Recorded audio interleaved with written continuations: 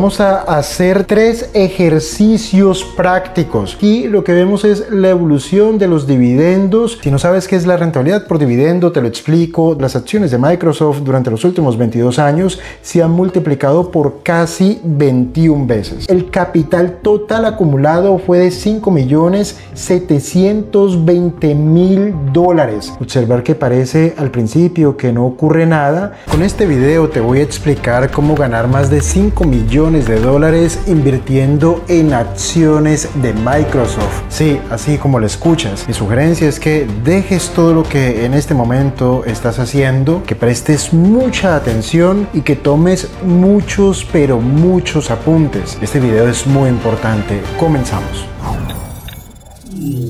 Como lo dije al principio, lo que voy a explicar a continuación es cómo cualquiera de ustedes puede ganar más de 5 millones de dólares invirtiendo en acciones de Microsoft. Te voy a explicar todo el proceso, todo el método con lujo de detalles, con el paso a paso. Únicamente podrás lograr los resultados si sigues de manera estricta todo lo que a continuación te voy a explicar. Pero antes de comenzar quiero hacerte la siguiente advertencia. Aunque todo lo que voy voy a comentar y a compartir a continuación se basa en datos, en números y en hechos. De todas formas, no deja de ser mi opinión, por lo tanto es subjetiva y puede estar también completamente equivocada. Mi sugerencia, lo que sí te quiero sugerir es que realices tu propio análisis para que saques tus propias conclusiones y así puedas tomar mejores decisiones. Te tienes que ver todo el video porque vamos a hacer tres ejercicios prácticos para que tú puedas usar inmediatamente todo lo que te vamos a explicar. Pero para que esto tenga sentido y lógica, te tienes que ver cada segundo de este video. Vamos a comenzar entonces el ejercicio porque aquí hay mucha chicha y no quiero dejarme nada por fuera. Todo este ejercicio se basará en el análisis de las acciones de Microsoft, en este caso a lo largo de los últimos 22 años. Y para partir con este enfoque vamos a utilizar como insumos principales el dividendo y la cotización de Microsoft desde septiembre del año 2002 hasta septiembre del año 2004 para 22 años. Lo primero que quiero ver es desde el punto de vista gráfico cuál ha sido la evolución de los dividendos de Microsoft. Claramente es una tendencia alcista. Los dividendos de Microsoft han sido alcistas a lo largo de 22 años. Y para los que no lo sepan, los dividendos son aquella parte de los beneficios o de las utilidades que las empresas deciden repartir entre los accionistas. Lógicamente, si el negocio va bien, la empresa puede decidir repartir dividendos y si va bien a lo largo de los años, entonces probablemente los dividendos serán crecientes. Y en ese sentido, lo que nos interesa saber es cuál ha sido el crecimiento compuesto anual de los dividendos de Microsoft a lo largo de los últimos 22 años. Para saberlo, vamos a utilizar esta fórmula matemática para los que sientan curiosidad. Utilizamos el dividendo de de septiembre del año 2002, que fueron 4 centavos de dólar, y el dividendo de septiembre a septiembre del año 2024, que fueron 75 centavos de dólar. Haciendo los cálculos nos da un crecimiento compuesto anual del 14,25%. Es un gran crecimiento compuesto para los dividendos. Y aquí lo que vemos es la evolución de los dividendos frente a la evolución de la cotización de Microsoft que está de color rojo. Observar que entre 2002 y el año 2014 realmente la cotización de Microsoft no fue absolutamente a ninguna parte. Y eso a pesar de que los dividendos siempre fueron crecientes. Y la única manera en que los dividendos pueden ser crecientes es porque los fundamentales van al alza. Pero en el caso de Microsoft, a pesar de que los fundamentales iban al alza, la cotización estuvo estancada durante muchísimo tiempo. Y esto se aprecia bastante mejor a través de este gráfico. Una cotización que se movió entre los niveles de 20 dólares y 30 dólares durante más de una década. Ya sabemos entonces cuál ha sido la evolución del dividendo y de la cotización de Microsoft a lo largo de los últimos 22 años. Ahora quiero saber cuál ha sido el comportamiento de la rentabilidad por dividendo. Si no sabes qué es la rentabilidad por dividendo, te lo explico de manera muy sencilla y rápida. Se calcula dividiendo el dividendo anual sobre el precio de cotización o sobre nuestro precio de compra. Y esto se multiplica por 100 para tener el dato en términos porcentuales. Por ejemplo, si invertimos en una compañía que paga 3 dólares de dividendos por año y compramos sus acciones a un precio de 100, dividimos 3 entre 100 y multiplicamos por 100 y nos dará una rentabilidad por dividendo del 3%. Aquí, matemáticamente hablando, podemos llegar a las siguientes conclusiones. Si el dividendo sube de 3 dólares por año a 6 dólares por año, si la cotización se mantiene o estamos utilizando para el cálculo nuestro precio de compra, si sube de 3 a 6, la rentabilidad por dividendo subiría al 6%. De otra parte, si el dividendo se mantiene en 3 dólares, pero la cotización cae de 100 a 50 dólares y compramos a 50 dólares, entonces la rentabilidad por dividendo también subiría al 6%. ¿Qué quiere decir esto? Que nos conviene invertir en acciones que tengan el mayor crecimiento compuesto de los dividendos, pero también nos conviene invertir en esas acciones cuando cotizan con descuento en medio de una crisis. Vamos a poner el siguiente ejemplo para tenerlo en cuenta. Mantengamos que compramos esas acciones 100 dólares pagando un dividendo de 3 dólares y que mantenemos la inversión durante 20 años y que dentro de 20 años el dividendo ha crecido desde 3 dólares hasta 30 dólares. Haciendo los números, la nueva rentabilidad por dividendo es del 30%. Aquí es donde se entiende el verdadero potencial de invertir en acciones de calidad que tienen dividendos crecientes y comprar esas acciones cuando cotizan con descuento. Ahora veamos en este gráfico la evolución de la rentabilidad por dividendo de Microsoft. Observar que entre el año 2002 y el año 2014 esa rentabilidad se disparó, pero a partir del año 2014 esa rentabilidad se hundió. Y tal como se aprecia en la siguiente gráfica, la rentabilidad por dividendo se hunde a pesar de que siempre los dividendos fueron crecientes. Pero ¿por qué la rentabilidad del dividendo de Microsoft cayó? Porque la cotización se disparó. Recordemos que el dividendo sube o cae o porque los dividendos crecen o caen o porque la cotización se dispara o se hunde. Y eso fue lo que ocurrió en Microsoft. Aunque el dividendo siempre fue creciente, la cotización se dispara a partir del año 2014 y eso hizo que la rentabilidad por dividendo hasta la fecha haya caído de manera muy importante. Ahora queremos saber cuál ha sido el crecimiento compuesto anual de la cotización en bolsa de Microsoft entre el año 2002 y el año 2024. Tenemos que la cotización al 14 de septiembre del año 2002 era de 21 dólares con 10 centavos y la cotización que es el valor final al 12 de septiembre de 2024 era de 441 dólares para un periodo de 22 años. Haciendo los cálculos, el crecimiento compuesto anual de la cotización de Microsoft fue de 14,82%. Recordar que el crecimiento compuesto anual de los dividendos fue del 14,25%, por lo cual hay una cierta correlación entre la cotización y el crecimiento de los dividendos, porque a largo plazo la cotización irá en la dirección de los fundamentales. Ahora calculemos durante estos 22 años cuál fue la revalorización total en términos porcentuales. Para los curiosos utilizamos esta fórmula de cálculo. Haciendo los números tenemos que la revalorización de estas acciones a lo largo de 22 años fue de 1990%. ¿Y cuántas veces se multiplicaron estas acciones? Esta es la fórmula de cálculo. Haciendo los números, tenemos que las acciones de Microsoft durante los últimos 22 años se han multiplicado por casi 21 veces. Ahora vamos a hacer el primer ejercicio práctico para que todo lo que hemos explicado hasta el momento tenga sentido para ti y lo puedas utilizar inmediatamente. Pero antes de continuar, déjame decirte que este próximo domingo vamos a realizar un webinar completamente gratuito explicando cómo utilizar la inteligencia artificial para tomar decisiones de inversión y decisiones de trading. Es gratis, pero las plazas son limitadas, así que te invito a inscribirte ahora mismo. Aquí debajo te dejo el enlace. El ejercicio va de la siguiente manera. Vamos a suponer que el 14 de septiembre del año 2002 hemos invertido 10 mil dólares en de Microsoft. Y con estos datos quiero saber cuál sería el capital que tendría a la fecha por la revalorización de las acciones. Y el cálculo va de la siguiente manera. Primer punto, calculo cuál fue la cantidad de acciones compradas con 10 mil dólares en septiembre del año 2002. Sencillamente divido 10 mil dólares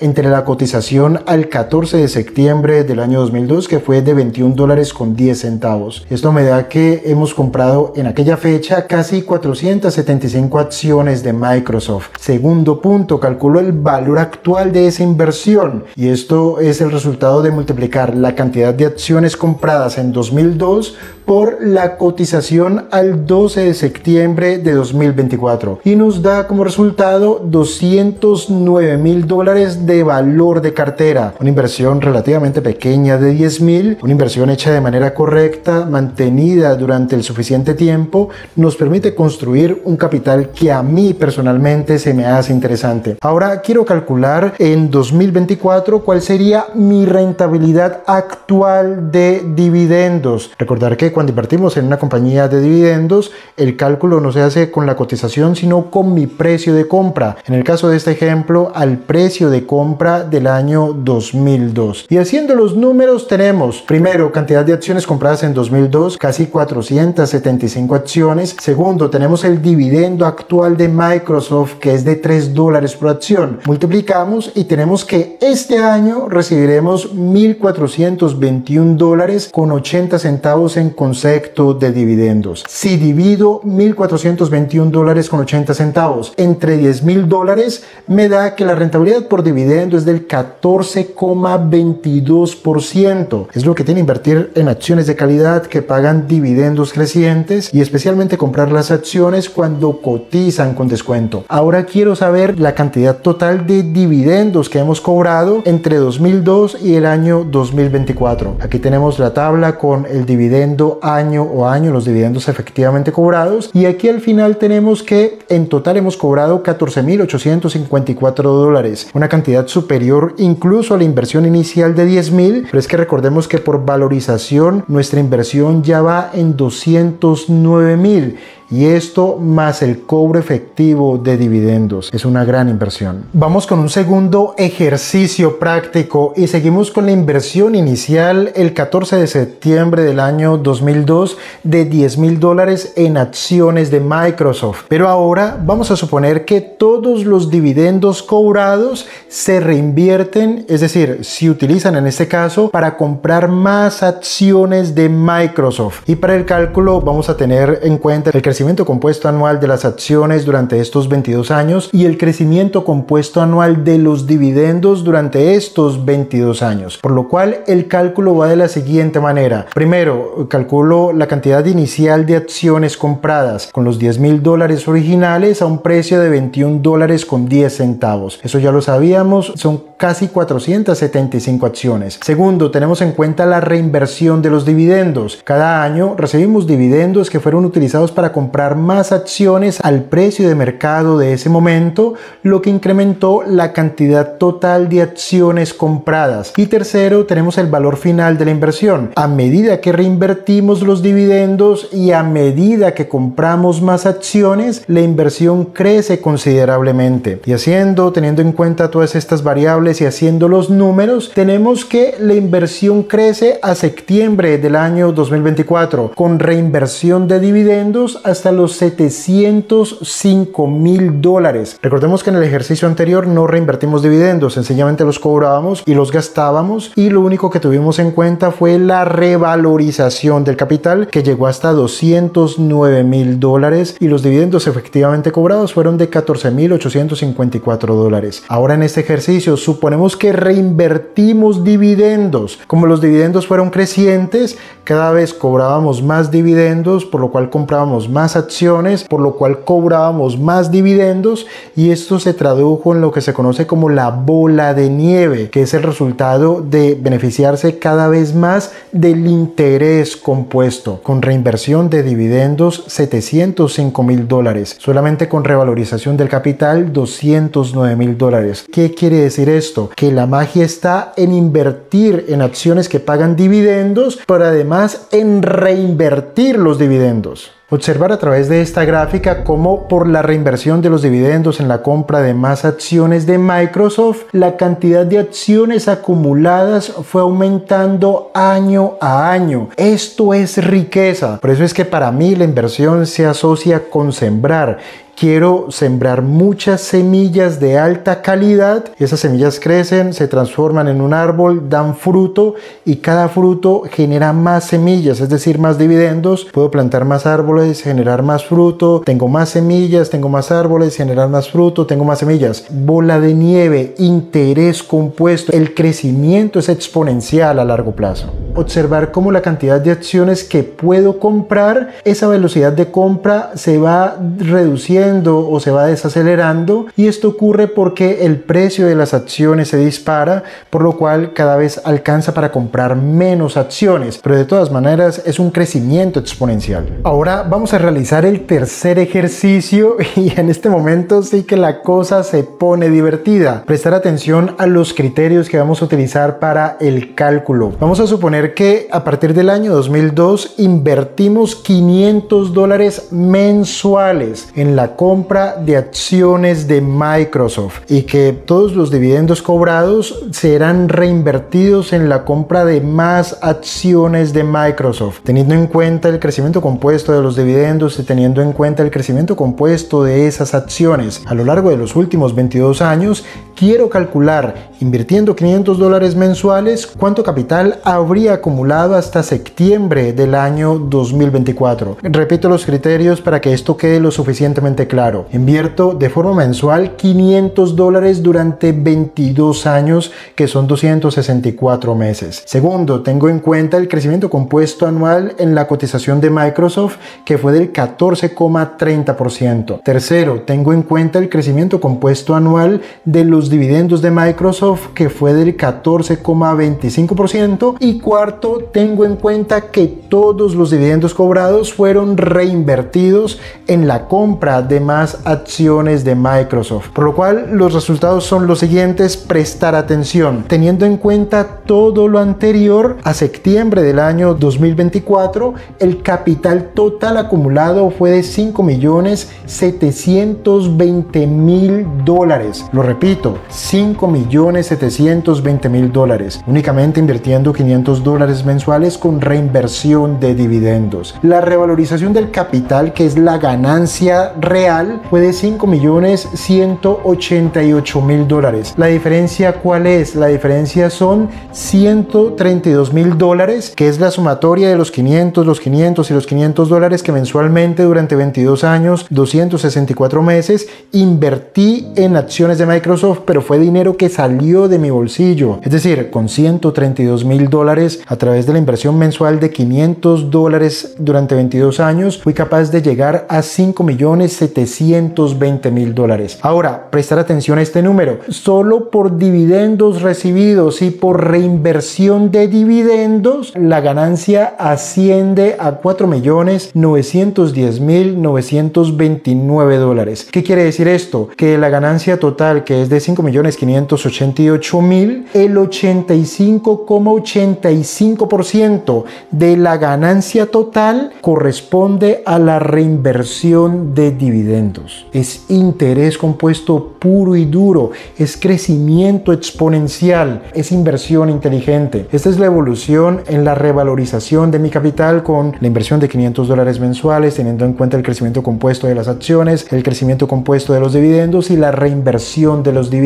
Observar que parece al principio que no ocurre nada, pero hacia el final de la gráfica el crecimiento es exponencial y esto ocurre por el efecto acumulativo y explosivo del interés compuesto. Ahora en esta otra gráfica comparo la evolución de mi inversión frente a la evolución de mi capital si solamente hubiese, me hubiese dedicado a ahorrar 500 dólares mensuales en una cuenta no remunerada de un banco. Esa inversión, ese ahorro está aquí de color verde, es esta línea discontinua de color verde, 132 mil dólares frente a la evolución de la inversión en acciones de Microsoft. Aquí la conclusión es clara, ahorrar realmente nos permite construir colchón financiero pero no nos llevará a ninguna parte. Lo que sí que probablemente nos permitiría construir capital, construir patrimonio, es invertir en acciones de alta calidad que pagan dividendos crecientes y además esa inversión preferiblemente hacerla cuando las acciones cotizan con descuento.